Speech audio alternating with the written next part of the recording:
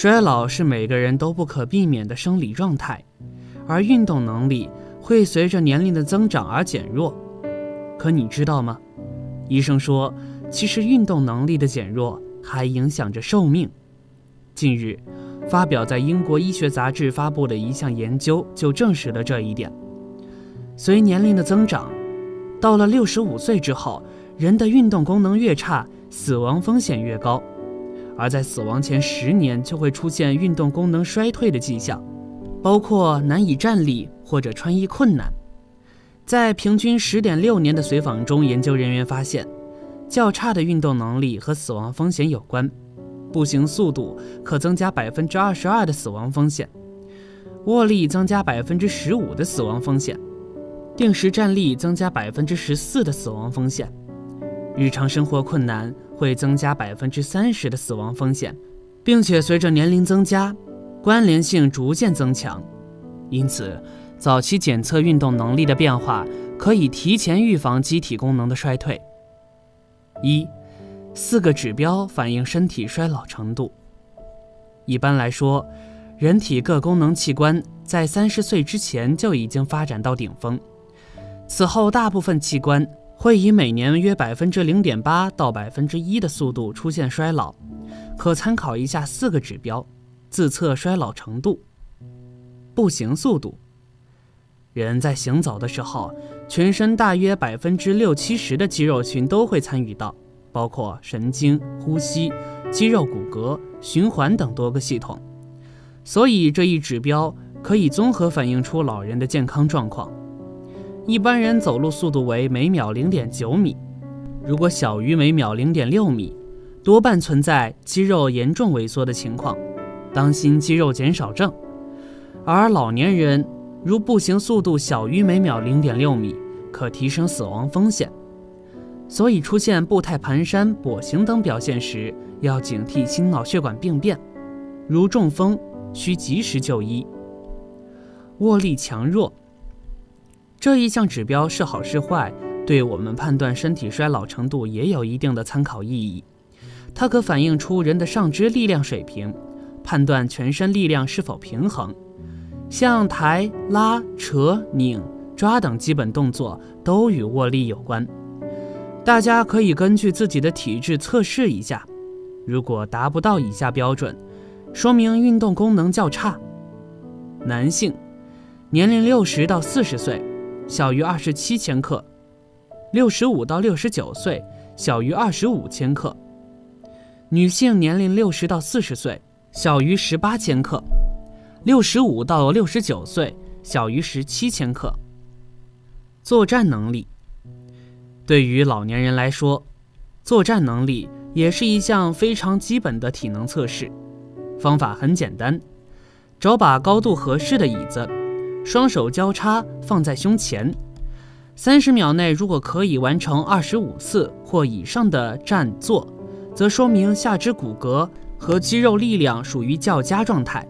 如果不能完成，则说明下肢肌肉有衰退迹象，次数越少，衰退程度越严重。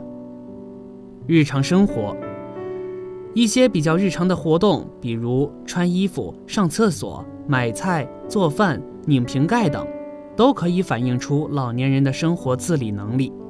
如可以很好的完成，说明状况还不错。如果这些低强度劳动都受限，则说明衰老在加剧，肌肉在减少，发生跌倒失能的风险较大，要小心一些。除此之外，人是否健康长寿，还可以根据其脸部状态进行判断。比较健康长寿的人，其皮肤比较细腻，而且脸色红润，给人一种精神状态良好的感觉。但是身体虚弱、寿命较短的人，通常有脸色苍白、萎黄的表现，总给人一种疲劳乏力、精神不振的感觉。寿命的长短还可以通过消化方面的情况来得知。健康人其实胃口较好，而且消化食物的能力比较强，在进食食物之后，通常有较强的消化能力，不会出现腹胀、腹痛、腹泻的情况。但是，肠胃道功能薄弱的人，其寿命容易受到影响。在平时排便的过程中就容易出现异常的情况，多有消化不良的表现。大家可以根据上述的指标测试一下自己的身体衰老程度。如果测试结果不理想，则要想办法及时调整，这样才可以争取延年益寿。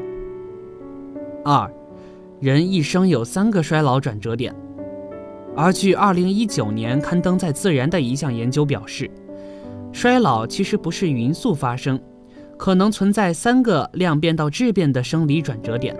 分别是三十四岁、六十岁、七十八岁。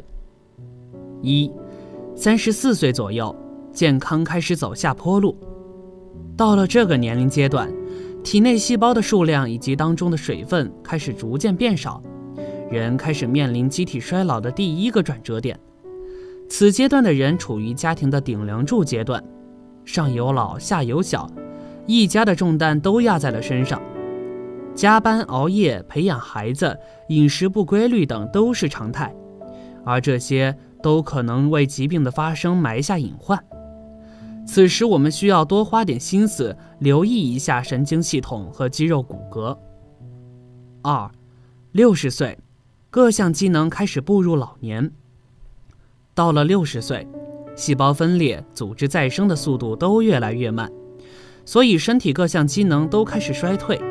正式跨入老年阶段，再加上到了退休年龄，容易出现自己没用了，只能闲着的心态。此时如没有及时调整适应，很容易出现焦虑、不安、抑郁等问题，身心两方面都会遇到考验。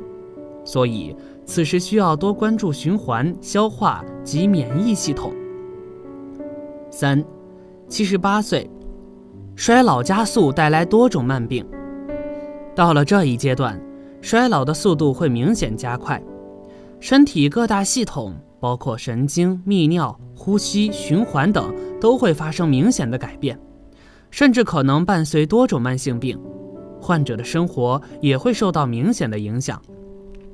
根据中国疾病预防控制中心发布的一项调查数据显示，年龄大于或等于七十岁的人，寿命损伤最为主要的因素就是心血管疾病。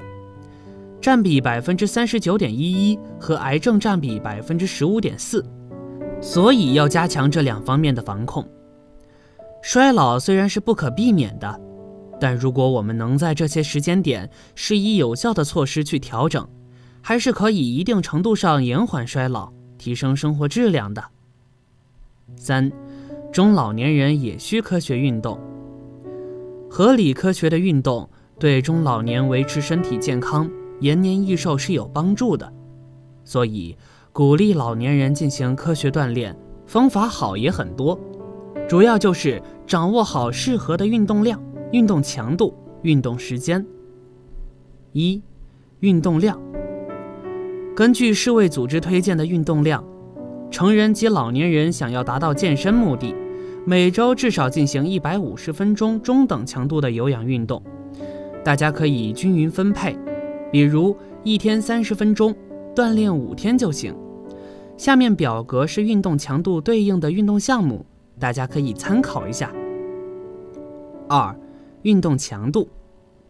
运动时一定要根据自己的情况来，别强求，不然超负荷运动很容易引发意外。一般来说，老年人锻炼时安全强度的心率为安静心率加三十到四十。可以上下浮动十次每分钟，还可以按照呼吸快慢、略快较快、出汗情况、微出汗、全身出汗、肌肉关节的感觉、肌肉略酸胀且无明显关节疼痛和麻木、酸胀、疼、麻、运动主观感觉、挺轻松、有些吃力、吃力等四个方面来判断。如果都属于前面那个选项，那说明运动强度合适。三、运动时间。想要达到健身的目的，运动时间也是有讲究的，少了没效果，多了超负荷伤身，所以运动的时间也要控制好。一般来说，一次运动需持续三十到四十分钟，可以更好的提升心肺功能、减脂。医生总结：随着年龄增长，身体也会开始逐渐衰老。对于这种正常的生理现象，我们要勇于面对，不可坐以待毙，可想办法，比如通过科学锻炼来延缓身体衰老的速度。工作几年来，小王的体重直线飙升。半年前单位组织体检，刚三十出头的小王，不仅体重超重，还患上了高血脂、脂肪肝。拿到了体检报告单。医生严肃地告诉小王：“血脂高有可能导致血管硬化、堵塞，甚至破裂；而脂肪肝导致肝纤维化、肝硬化，甚至肝癌。”医生建议小王要立刻减肥，调节血脂，保肝护肝，从而避免严重的疾病。健身减肥这件事，说起来容易，做起来难。一开始，小王也尝试了打球、跑步、游泳等，总能找出理由为自己开脱。运动健身成为了三天打鱼两天晒网，有时候竟然一两个星期不动一下。去医院复诊，又被医生严厉批评了一通。有一天，小王在邻居家吃饭，说到社区一位七十多岁的王大爷。原来患有高血压和心脏病，天天与药罐子打交道，但他坚持走路健身，每天早睡早起，早晚步行五十分钟。几年来，高血压和心脏病得到有效控制，变得很有精神，人也越来越乐观。从他那听说走路还能防癌呢，小王听完有点着迷，又有点不敢相信。这个走路真有这么大魔力吗？一，走路能抗癌吗？对身体有什么好处？专家解释道：癌症形成原因众多，可能是先天基因性的变异，也可能是后天不良生活习惯所致。而美国一项七十五万余人的研究分析显示，每天运动一小时。与乳腺癌、子宫内膜癌、肝癌、肾癌、结肠癌、骨髓瘤和非霍奇金淋巴瘤这七种癌症风险降低相关。每天一小时运动，相当于正常速度走路、骑自行车等中等强度运动。散步走路可使人心跳微微加速，也会使人进行更多的深呼吸。这对人的身体健康很有好处。俗话说：“百练走为先。”钟南山院士就把步行视作世界上最好的运动。他提供的一组来自世界卫生组织的数据显示，每周步行大于或等于四小时的六十五岁以上老人，比每周步行小于一小时的六十五岁以上老人，心血管发病率。会减少百分之六十九，病死率则减少百分之七十三。美国心脏学会二零二一年流行病学、预防生活习惯方式和心血管代谢健康大会上发布的一项研究也表明，老年人多走路更长寿。走路是一种很好的锻炼方式，能够起到强身健体。增强身体抵抗力的锻炼效果。走对了路，身体能收获这些好处：一、降低死亡风险。来自北卡罗来纳大学教堂山分校等机构的研究人员，分析了美国女性健康研究中涉及一万六千七百三十二名年龄在六十六岁至七十八岁女性的调查数据。调查行走模式和部署与全因死亡率之间的关系。在2011年至2015年随访期间，有804名女性去世。研究者将每天的行走模式分为两类：一类是零星的短时间偶发步数，如走楼梯、行走去开车或做家务等；另一类。是不间断的行走十分钟以上，其中可能包括有计划的锻炼，如散步或去健身房。结果发现，不管是零星散步，还是较长时间的不间断行走，步数更多的人寿命更长，且在约四千五百步之后，这种效应趋于稳定。具体来说，开始零星走路能带来最明显的死亡率降低。步数在三千两百步以下时，与日常不走路的人相比，每天零星走路步数每增加一千步，全因死亡率大约降低百分之二十八。同样，长时间快走越多，生存获益越明显。每天走路超过两千步，与不走路者相比，死亡风险降低百分之三十一。二，帮助控血压。首都医科大学心血管疾病研究所胡大一教授介绍，走路对改善心血管健康的重要性，已得到一系列研究证实。对血压较高的人，最简单的运动方法就是走路。走路可使全身百分之六十到百分之七十的肌肉都参与运动。这样可促进内脏器官的血液循环。最初，可每次走五百米左右，每天三到四次，以自己习惯的步伐走。练习一段时间后，速度可逐步加快到每小时五千米左右。如果能持续每天走一段路程，可以帮助血压下降，也能给心脏带来好处。三，避免脂肪肝。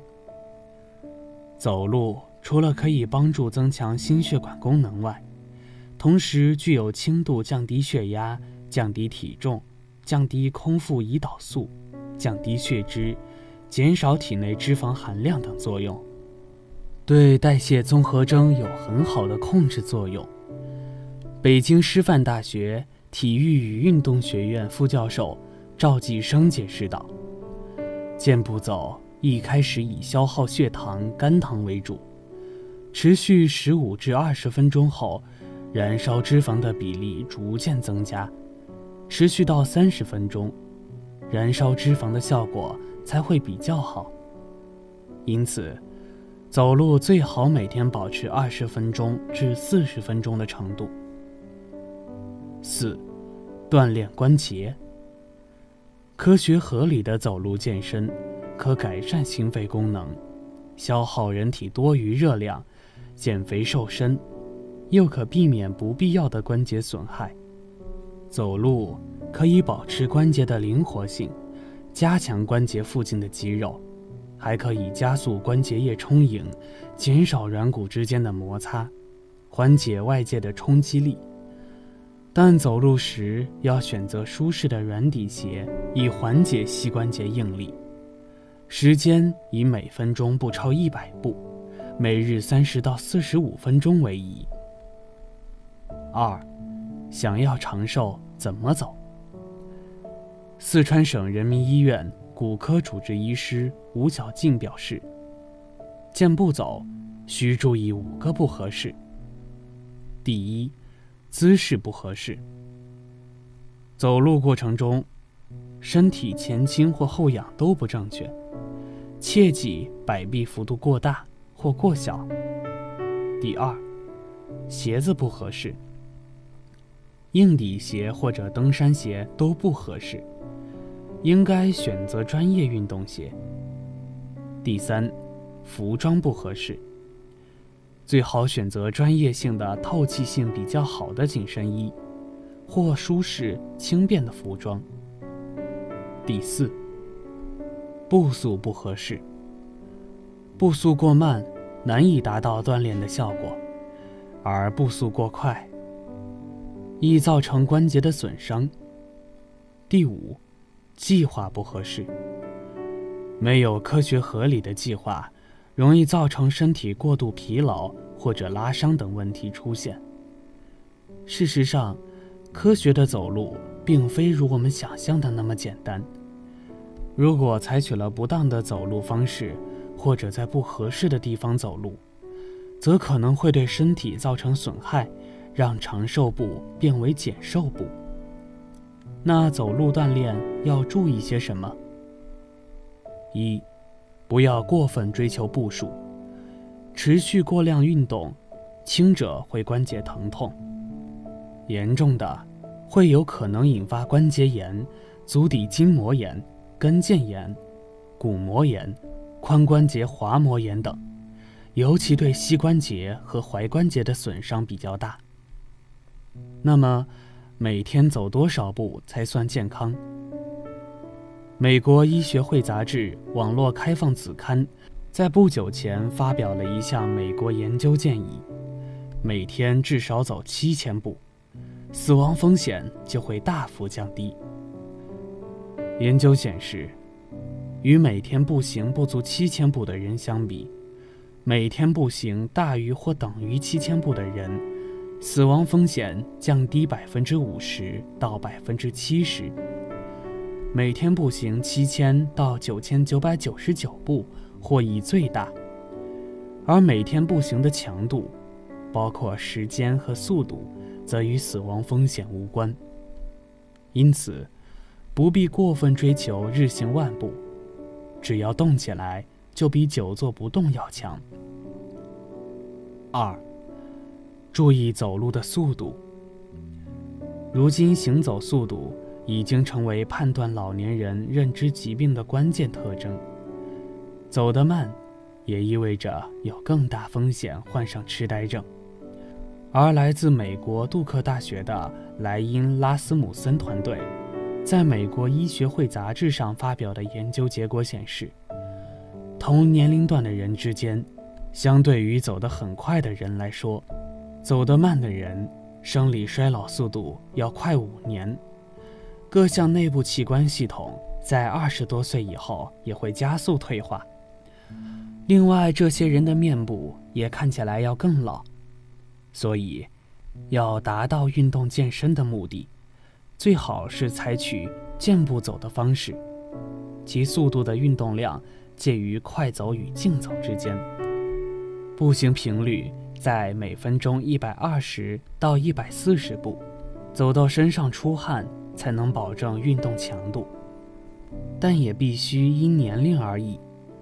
随着年龄的增长，步行频率会逐步下降，步幅也会变小，这都是正常的。三，选择合适走路的时间。专家推荐，最佳步行锻炼时间是下午三点到晚上九点，其理论依据是。这段时间，大气内的氧气浓度较高，人的感觉最灵敏，协调适应能力最强，并且这时的血压和心率既低又平稳。不过，不同的个体差异，只要适合自己的感觉，晨练晚练均无大碍。但要注意，饭前半小时、饭后半小时、睡前一小时最好不运动。世界卫生组织早在1992年明确指出，世界上最好的运动是步行。步行是最简单的运动形式，不受时间、地点、天气、人员等因素的限制，也无需任何器具，更不需要多少金钱。只要愿意坚持，随时随地、随人，可享受运动带来的健康。赏心而又快乐，但走路也并不是说走得越多越好。短时间内大量的快走，易造成关节的受损，损害机体免疫功能，反而会影响我们的健康。快走锻炼贵在坚持，应注意量的积累，避免暴走。同时，建议根据自己的年龄、身体等状况。来制定合适的走路计划，循序渐进的进行。好了，这篇文章到这里就结束了。建议大家一定要发给身边所有的中老年朋友们看看，也不要忘了右下角点击订阅，和志恒相约，每天不见不散。我们一起成长，一起幸。